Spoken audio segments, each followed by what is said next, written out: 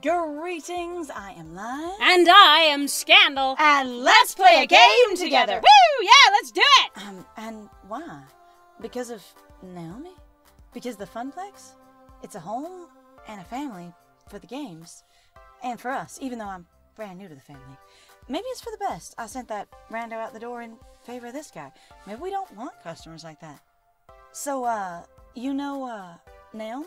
Because that's also the other, the other interesting thing that I love that my friend actually pointed out was arcade etiquette. The guy just going, "You're taking too goddamn long. Uh-huh. You're not letting me have my turn." And it's going, "The guy is good at the game. Sometimes you really did just damn have to wait when somebody was that good at a game." Yeah, if they're not Like- pumping in more quarters, if they're not paying more, they're just on the lives they're on. Right. Then arcade etiquette, as far as I've ever known, and gaming etiquette is you wait till they die. Yep, and it I actually it was funny my friend mentioning going you put your quarters up when you want to go next. Mhm. That is completely normal and I completely had forgotten about it cuz I'll say so even where I've been to arcades I haven't been to arcades that much cuz a lot of it was in my experience even though my parents had a lot of money of going that it's a money sink basically Right. for a lot of people because they are trying to basically fuel their games with you know fuel their entire store with the games. so the you've got to basically make those games harder or more difficult They or require microtransactions to survive because They do. that's what they are. Mhm. That's what it is. And app games have tried to basically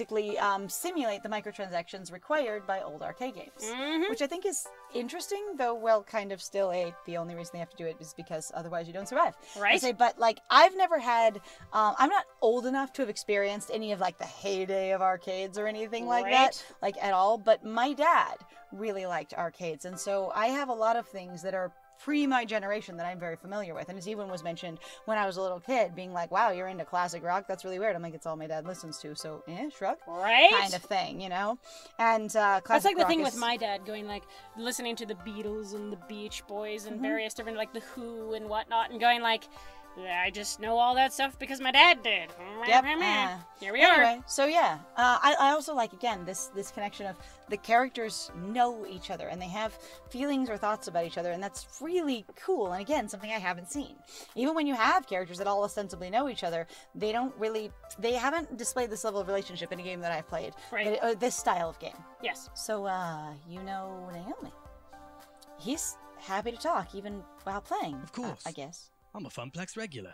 My name's Percy. You look like a Percy. You're You adorable. look like a Percy, like that. I'd hazard you're our uh, new floor attendant. I was here when Francine seated you behind the desk earlier. I.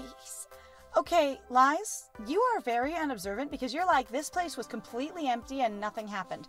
I think you were just talking about there was no one coming to the price counter, not no one's here. I think that was probably the praise counter. Because I was gonna say, it really sounded like you were basically like, no one's here at all, rather than no one's interacting with the price counter. But you also told Pinky when you met their lovely player, um, or or actor, if you will, Uh-huh. um, that that that there was no one out there. There's no crowds. There's no people. No customers, kind of thing. But that might also be a level of basically assumptiveness of going in this culture. When a place is busy, you're supposed to have a ton of people in there. So that I'm is a level of bias, yeah. The one or two. So yeah. So lies discounts the one or two little amounts of people. Which is the thing that a lot of people actually do. Well, there's nobody here. No, there's like two or three people. Yeah, well, that's not. Yeah, that people. doesn't count. I've actually heard that before too. Well, well, that's not. Yeah, that doesn't count. Yeah. Right. Okay. Also, I'm like, okay, lies, lies, my dude, my bro, my my my MC. You're like, I'm gonna solve this problem and then deal with two other problems. Uh-huh. Asking him about himself right now, for me, totally defies the urgency of the other two situations. Right. So while I want to ask him, this feels like a total non sequitur to not come back to him if there's still a giant crowd yelling and someone, you know, cursing up a storm. Right. Anyway, uh, that's me, Last Scandal Arcade Wrangler, and Well then, you know, it's terror a of the floor. pleasure to make your acquaintance, and I look forward to getting to know you better. You're adorable. It is pretty strong British. All right, so uh, you've seriously just been playing Moopy all day, huh? What can I say? It's my calling. You're adorable. I actually owned a Moopy cabinet once. Had it in my flat. But playing it by myself, all alone in the dark, it's not the same. I need the atmosphere. So you Hang never, the fuck on. he never intended to take it Are with him. you British or Aussie? I say that sounded a little more Aussie to me. I think somebody. crossed their accents a little bit. Mm, yeah, I'm like, hang on. That's. I know. Okay, so I know basically that the the, the, the, the population that tends to get more attention, not the Aboriginal population, unfortunately, um, Is in it British colonizers? is it, Oh. it was the British colonizers, but more specifically, basically descendants of British prisoners, Mm-hmm. because that was actually what Australia was used a lot for, based off of my understanding. the storage of our prison populace. Yeah, that's what they did, was fucking terrible. And it then has you know, been made fun of in all kinds of cartoons and things. Going, Yeah. yeah, you have your British prisoners, you send them over to Australia. Yep, and I'm just like that. That sounds way more Aussie than British. But feel free to correct me if I'm wrong. It just that's what I'm picking up on. Not really. It might be a regional British dialect that we're not familiar with as well. It's true. Or it could be that the voice actor doesn't have a full handle on it in the same way that you went British what? yeah, And right. they're trying to sort of get it as they go along. right. I I need the atmosphere. I you know what? I kind of I I feel him. I Uh-huh. understand that, but it also totally removes the gravity of the situation of going he was never going to take the game with him anyway. Right. And going that's that's interesting. Also though it seems like a big interesting power move to suddenly be like this problem has never happened ever before. right. And I'll just pay you off. Like solving It's everything fine. with money. It's inter- it suggests an interesting personality. it does. The beeps and boops. No, and- those you eventually learn to filter out. I mean, everything. The games, the lights, the kids, the feeling of being in an arcade. I score my best when I'm in real world conditions. I feel that one. Yeah. It's Like- all about the emotions the laughter and the tears, the excitement of competition. That's I cool. there is a level of that. Like I feel him big time. Like atmosphere is a big damn thing. Like Mm. I I need a vibe in the room. Yeah. Oh, um, kind of thing. Like and I I always was like that with my homework too. Swirling chaos of human emotions around me to play at my finest. I also Yes. just want lies to be interjecting and going. You know. The mob crowd screaming over there, the one person shouting explicatives over there. In other words, needing to do my job I'll be right back. Actually. In other words, uh, hold on a second. Yeah, I'm, I'm just Mhm. waiting. Naomi gets that. She keeps Moopy in top condition for the day that I eventually land my high score. Oh, what's the uh, current world record then? About three and a half million. Oh, right. This guy has been standing here since I was working the morning shift, hours and hours, and he's still only about 720 into his game. Woo! Hmm. I okay. I have encountered games like that where like I've gone, I want to be at the high score table, and then I give it, I quit not because I don't feel like I can get there, but because I'm going. That's nine or fifteen or twenty-two hours of consecutive gameplay, Right. and I don't care enough to spend an entire day on it, or two or three days sometimes of consecutive gameplay. Like there's a few online games that I play, including I've I've made it known that I play Marapets, and it's it's sort of a weird little habit that I have off in a corner. I would say, but the thing is, is some of the high scores on those games with the speed that the game gives you score and the speed that the graphics run, you need to play those games for five, six, or seven hours. Yep. And you can't be doing anything else on the site while you're doing that to get those scores. And I'm just like, I just can't feel it. yeah. Oh, yeah. Right. I can't imagine him being in anything but top health condition to try this. Guy's gotta have legs made out of carbon fiber and a bladder of tungsten. Hmm. Uh, sort of planning. I just let a few extra lives drain out whenever I need to go pee.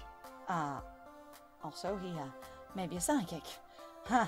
There's that. I, on the other hand, when I've done marathon gaming of whatever kind, yeah, even if it's a game that plays consecutively, if you've gotta pee, one, you sort of budget your liquid. Yep. And you think about it in the same way that you can sort of schedule your pee breaks around whatever your job or school schedule is. Right. Like if that's when their break is, it's not for every four hours, then your bladder learns that kind of thing. Right. And if you know either there's a cutscene between levels or it's a long load in when you do some certain achievement or whatever, you could be like, and that's when I'm gonna go pee. right. All right. I feel like I should let him get back to his game, except for I really should be doing my job, and that's why I feel like I should let him get back to it. But burning questions, they burn like fire. I feel like I should be doing my job because I can still hear the things going on around me that were going on around me, I think. So I'm suddenly having an urgency dissonance with this game. Right. Like real strong going, are those Eh. other two things still happening or not? I wonder if it was a sort of you get to pick, like, if depending on what you picked, you would run into different people. Because that's why I was like, actually, we had the conversation in between this where I was like, eh, now I actually think that each of the options would give you a different, basically new Possible potential romance love option? romance option. Okay. So I, I'm thinking in this case, it's like, yeah, now we're dropping it because. Mm. It's one of those mechanics you kind of suffer with because you're like, no, no, no, you should really get to know them. But I'm like, yeah, but mm, None of these are things that I would want to ask. right. So I'm trying gotta figure out out what lies. lies would ask. All Right. right. I think Lies has been very preoccupied with the income thing. Right. And really, they have been mentioned like socioeconomic status and backgrounds and being poor a lot of times. So, what's actually just written in the dialogue that we've run into so far, I think the question that's going to be burning in their mind of, I don't know how to not ask this and I can't walk away to do the rest of my job because, uh, so you must have a solid job. There we go. Good income. Um, so you must have a solid job, good income. If you don't mind me commenting on it, that's a lot of money to just have on your person. What do you do for a living? Trust fund. Eh, this and that. Drugs? Ah! Drugs. Meal. Drugs? Meow. Drugs. Drugs. Got some drugs. Drugs. N- No, I don't. No, I no, no. don't. He doesn't really seem to care to talk about his work. Uh, not in a guarded way, just less interesting than his current maze. Reasonable. Uh, maybe he's actually the head of an international diamond smuggling ring. Ah! ah they thought of smuggling as well. Yes! I'm like, drugs are like smuggling. Yes! Yes. They had stones inside arcade games. Who knows? Uh, Uh, Day trading. uh, uh-huh. Day trading. Stocks and bonds. Anybody can do it if they have a head for the numbers. It's really nothing important. Or maybe he's a day trader. Don't think so. I don't feel people are defined by their work. I know the arcade is home to those who've made their passion into their work, but it's the passion that matters more. I've my passions, the same as anyone. I look forward to learning yours as well. Ah, When I'm not deep in the middle of a game, I mean. right. I, my passions as well. Okay. Sure- um, sure. I, he's getting more and more distracted by the game. I should leave him be. I will. I'll leave him be. I have to uh do, do a thing uh, about a, a thing now. Mmm. Bishane, ya mixed scandal. See, that's the thing too. Is going. Here's the assumed gender, Ah, and I like that they use Mick. You know, mix here because mix is a fun little um pronoun. That, uh, Yeah. Like or or honorific. Sorry, it's an Honorific, yeah. that I really enjoyed for either being Mr. or Mrs. What have you. Um, I was like, or Ms. if you will. Right. I would say, but like, I'm again. How did he know our pronouns? right. And again, is there some kind of biological or physiological or like social indicator of what you are? Whether that's like clothing style, uh-huh. and going and, and in sort of in the way of going if you're going to be a business person you wear a business suit. If you're going to be a non-binary do you need to dress for it? Right. and that would be my question. And going there are people going if you're going to be a drag queen you're going to dress like a drag queen kind of thing. And if you just wear you know the oh yeah i'm just wearing you know basically mall mom clothes kind of thing. I'm i am your basically suburban walmart mom. That might not be drag enough for a lot of drag to, for, to Right. recognize you right on the other hand i would love to see you know suburban walmart mom drag interpretation that'd be fun That'd be um, great. i was gonna say but like I I would like to know how they know your pronouns, and that would be cool. Right. Also, how do we know if we know their pronouns? Right. That'd be nice too. All right, so that's the only thing that I've got so far. That's okay. And again, this is one of those things that sometimes I don't want to take away this from people of just going like, "Yes, you just know who I am. I never have to talk about this. It's never a discussion. It's never brought up. Mm-hmm. but it'd be really cool to know the mechanic, to know what that piece of the, their world that is. Right. All right. Uh, yet another weird encounter in a string of weird encounters. I am not usually this social ever. By the end, he sounded more like the high score junkies you hear about in documentaries. Obsessed, driven, uh, kind of strange, having taken on a um, money profession that supports his gaming habit rather than the gaming habit that's, you know, just a stress relief for his money profession. I don't know, but that's not the impression I had of him from the beginning. He smiled when talking about not splitting up the arcade. Yeah, like Yeah. he seems soft and Genial, thoughtful. yeah. Like he seems very. He's kind of cute. Uh huh. Like he's kind of cute. Ah. Oh, all right. There's something more going on here, but uh, well, he's a Funplex regular. I can tell. There'll be plenty of time to learn more later. I've got work to do. Yeah. Here all we right. go. Two more problems. Yes. Because we did say the reason I was concerned about the urgency was because it was specifically set up in the character of going. I should have time to handle all three. Yes. So it suggested to us that we should be able to theoretically handle all three. Yes. And so I'm going, where's your now sense of urgency? Because it really was urgent right at the beginning. Yes. All right, let's see uh, what to handle next. Someone cursing up a storm, loud crowd. I think loud crowds are relatively fairly normal. So I think if we're if we're concerned, like we've already expressed that our concern with cursing, there's kids here. So I think cursing at Fist of Discomfort. Yep. Let's go take care of it. I just the implication of Fist of Discomfort, though, I'm just like it's a proctology game. Street Fighter from another angle. Woo! We're just high. There we go. There's a lot of shouting coming from the center of the arcade where uh, Fist of Discomfort is being played. I remember I was telling me all about it earlier today when I was bored to death at the ticket desk. Oh, so we are we are telling our uh, like we are we are basically adding in stuff that happened in the past. Right, nice. Okay, oh, and we're gonna have okay. So this callback. So sometimes I know we've gotten kind of frustrated with flashbacks, where they're like, literally, you just did this, and now Uh-huh. we're having a flashback But to five seconds ago. We didn't actually see. No, we. this is um filling in information. no, no, no. Did You've we? seen this. This was a while ago. Okay. So I personally appreciate this because this was when we did our original playthrough in regards to Oh. this. I Like, totally forgot about this. Oh yeah, no, you're. I remember this. Okay, I, cool. Fist of Discomfort, or FOD, is one of the most popular games in the esports circuits. It's been a staple of the scene for over six years. Right. No, I think it sounds familiar. Now. One year, Team Wicked Prodigies took on the Unreal and came back with a win in the dying seconds of a tiebreaker match to take home a record $5 million prize pot. I don't remember that part. That's uh, a lot of moolah. And how? Okay, so how does it work? It's a hybrid of real time strategy and button mash brawling. Fight your way down the top and bottom lanes, clearing waves of ninjas to finally topple the enemy dojo. I think this is adding more than the other one is. I mean, I. It could, and also I'm like, I swear I remember like parts of this being in there. That's what I said. sure. I think there was a simple version of this, and this is extrapolating further on it. Hmm. So I think we, we might have to go back and check, but I really think this is basically going, we're going to clarify what actually happened in that time, but it also implies that you can have conversations that are more detailed than what's shown on screen. which is nice. And that's nice because a lot of times games really, really are would be more solid and relationships would be if you can assume more talking is happening than what you see. Hmm, right. All right. But that's the action part. The strategy part involves using special summons, purchased items, and ninja summons. Special F- abilities and Ninja Summons. special abilities, excuse me. Uh, FOD is sheer elegance in its simplicity, the way the different game systems interweave to form one masterpiece of esports perfection. So, uh, summon good ninjas, punch bad ninjas, smash dojo. Huh, wow. I'd say boiling down a rich game of action and strategy played by the world, uh, played the world over by top gamers in such a way is a bit degrading, but sure. Okay, have it your way. Yep. Uh, all of which is super interesting and stuff, but right now, all I care about is dealing with the loudmouth currently playing the game. Uh, the closer I get, the louder the yelling gets. Most of these are words that, uh.